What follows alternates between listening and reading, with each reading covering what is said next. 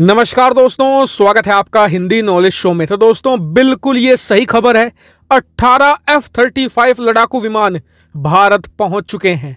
और अगर आपको अभी भी भरोसा नहीं हो रहा है तो थोड़ी देर इंतज़ार कीजिए, मैं आपको प्रॉपर आर्टिकल दिखाऊँगा प्रॉपर सोर्स दिखाऊँगा, जिससे कि आपको यकीन हो जाएगा।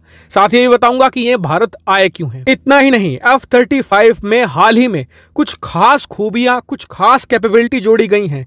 जो जानकर आप हैरान रह जाएँगे, वो भी मैं आपको बताऊँगा। तो चलिए, बिना समय गवाए वीडियो को हम शुरू कर लेते हैं। लेकिन उससे पहले, जो लोग हमारे इस चैनल से हाल ही में जुड़े हैं, उन्हें बता दूँ कि इस चैनल पर प्रतिदिन तीन वीडियो आती हैं एक्सक्लूसिव डिफेंस फॉरेन पॉलिसी और फाइनेंस से संबंधित। तो चैनल को ज़रूर सब्सक्राइब कर लेना और जिन लोगों ने कर लिया है तो आपका दिल से धन्यवाद। चलिए अब वीडियो को शुरू कर लेते हैं। तो दोस्तों, ये बात तो आप में से ज़्यादातर लोगों को पता ही होगी कि आज की तारीख में दुनिया में दो ही स्टेल्थ लड़ाकू विमान है, या तो एफ़ ट्वेंटी टू रैप्टर या एफ़ थर्टी फाइव लड़ाकू विमान। और दोनों के दोनों ही अमेरिका के लड़ाकू विमान हैं।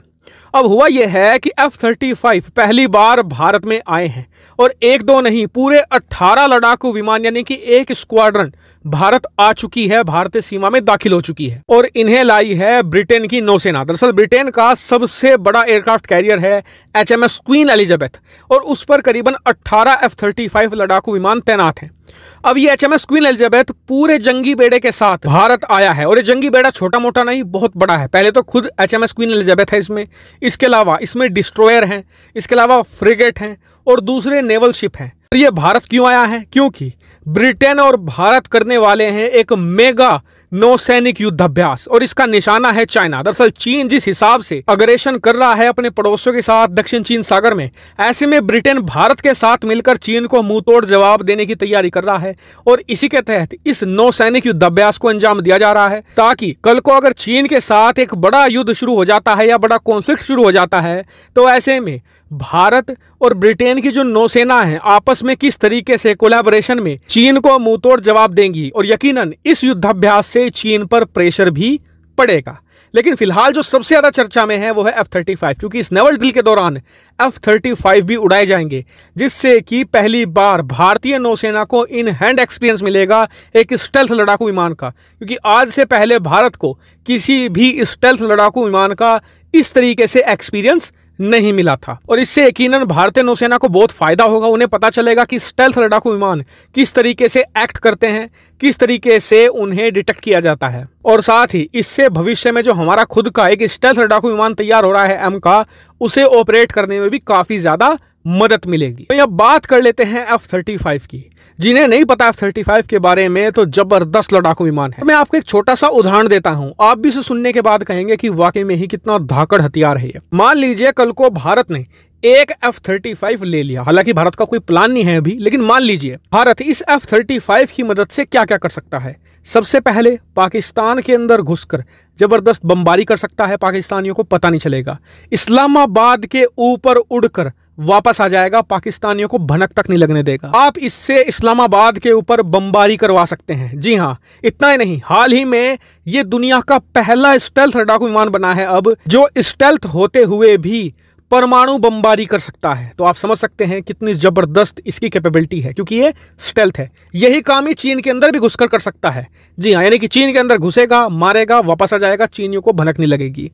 दूसरी इसकी खास बात है vertical landing and take off यहाँ दूसरे लड़ाकू विमानों को उड़ने के लिए कम से कम एक डेढ़ किलोमीटर का रनवे चाहिए होता है।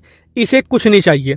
क्योंकि इसका जो सी मॉडल आता है एफ़ थर्टी फाइव सी उसे रनवे की ज़रूरत ही नहीं है। क्यों? क्योंकि वो हेलीकॉप्टर जैसे लैंडिंग कर सकता है और हेलीकॉप्टर जैसे ही वो उड़ान भर सकता है। तो आप सोचिए कि भारत इसे कहीं पर छुपा दे, किसी को पता नहीं चलेगा। कल को दुश्मन भारत की जो लैंडिंग साइट्स है, उन्हें तबाह भी कर दे तो अभी एफ़ थर्टी फाइव को रोकना इम्पॉसिबल है। क्योंकि इसे तो आप किसी के खेत से लैंडिंग और टेक ऑफ़ बड़ी आसानी से करवा सकते हो। ताकि ये खूबी जानने के बाद आप सोच रहे होंगे कि यार, हमारे पास भी एफ़ थर्टी फाइव होता तो आप टेंशन मत लीजिए। पहली बात तो हम खुद का, एक एम का लड़ाकू विमान बना रहे हैं जो स्टेल्थ होगा। हालाँकि उसे बनने में समय लगेगा, लेकिन फिर भी चिंता की बात नहीं है।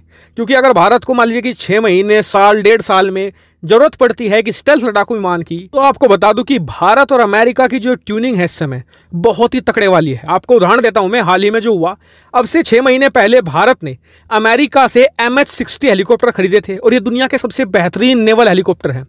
अब हुआ क्या? भारत को अचानक से एम एच सिक्सटी जैसे हेलीकॉप्टर की ज़रूरत पड़ गई, क्योंकि चीनी नौसेना लगातार हिंद महासागर में घूम रही थी। तो ऐसे में डिलीवरी में समय था छह महीने का। तो अमेरिका ने कहा कि कोई टेंशन वाली बात नहीं है। हम अपनी नौसेना से दो एम एच सिक्सटी हेलीकॉप्टर निकाल कर आपको दे रहे हैं, आप इस्तेमाल कीजिए। जब आपको आपके नए एम एच सिक्सटी मिल जाएँगे तो हमारे पुराने दो वापस कर देना। इतना ही नहीं, एक इंसिडेंट तो हाल ही में मार्च में हुआ है। दरअसल भारत को ड्रोन की ज़रूरत पड़ रही थी। अमेरिका ने चुपचाप बिना किसी को बताए भारत को 20 प्रीडेटर ड्रोन दे दिए जिनकी कीमत 80 से 90 मिलियन डॉलर होती है, बहुत महँगे हैं। लेकिन भारत को दे दिए लीज पर, किराए पर, कि जब आपका रुस्तम टू बनकर तैयार हो जाएगा ना, हमारे वापस कर देना। और दोनों देशों की ट्यूनिंग इतनी अच्छी थी कि भारतीय नौसेना में वो प्रीडेटर ड्रोन शामिल भी हो गए, और शामिल होने के तीन दिन बाद भारतीय मीडिया को पता चला कि अमेरिका से भारत ड्रोन भी आ चुके हैं। तो इस लेवल की कम्युनिकेशन भारत और अमेरिका के बीच में इस समय है। आपको टेंशन लेने की ज़रूरत नहीं है। भारत को कभी भी एक स्टेल्थ लड़ाकू विमान की कमी नहीं पड़ने वाली। फ़िलहाल इस वीडियो में इतना ही। वीडियो देखने के लिए एक बार फिर से आपका धन्यवाद। Thank you very much for watching video